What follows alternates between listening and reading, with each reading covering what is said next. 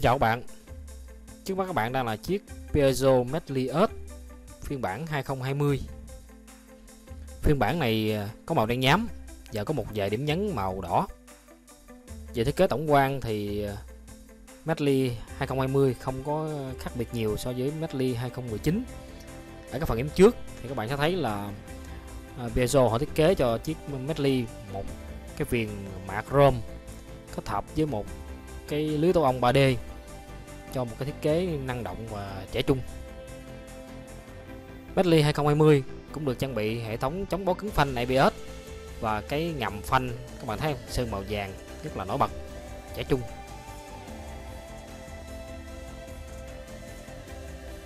Peugeot Medley 2020 cũng được trang bị một cái động cơ iGet thế hệ mới. Động cơ này thì có 4 kỳ, 4 van phun xăng điện tử và làm mát bằng dung dịch đây là một thế hệ động cơ đạt chất lượng về độ thân thiện với môi trường của Peugeot. Hệ thống chống bó cứng phanh ABS cũng được Peugeot trang bị cho cả hai bánh trên chiếc ờ, Piaggio Medley 2020. Với hệ thống chống bó cứng phanh thì các bạn sẽ được an toàn hơn trên ờ, các cung đường, nhất là trong các tình huống mình phải ờ, thắng gấp.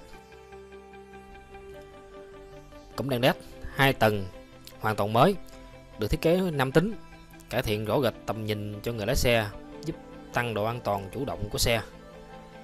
Đèn định vị trước và sau đều được trang bị đèn led, giúp cho việc lái xe trở nên dễ dàng hơn trong mọi điều kiện thời tiết. Bản đồng hồ kỹ thuật số của xe sử dụng công nghệ LCD, được thiết kế hoàn toàn mới và tiện dụng, cho phép tìm hiểu mọi thông tin cần thiết về hành trình, trạng thái vận hành của xe một cách nhanh chóng và chi tiết. Bên cạnh đó, Medley 2020 cũng được uh, trang bị một cái công nghệ là Peugeot Đây là một cái hệ thống cho phép kết nối giữa điện thoại, smartphone với bản đồng hồ kỹ thuật số thông qua kết nối Bluetooth. Bằng việc là sử dụng cái ờ, nút mod điều khiển ở bên tay phải người lái thì bạn có thể dễ dàng là quản lý cuộc gọi, nghe nhạc từ điện thoại.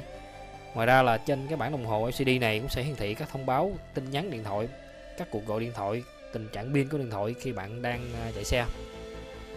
Một cái điểm nữa là cái bình xăng trên chiếc Peugeot Medley 2020 cũng được à, đặt gọn gàng xuống cái khu vực để chân, giúp cho việc nạp nhiên liệu dễ dàng và thuận tiện hơn.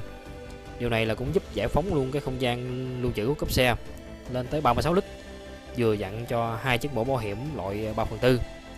Ngăn chế độ với chiếc xe cũng à, tích hợp luôn cổng USB giúp cho các bạn có thể dễ dàng à, sạc các thiết bị di động như là điện thoại, smartphone hay là một số cái thiết bị di động khác.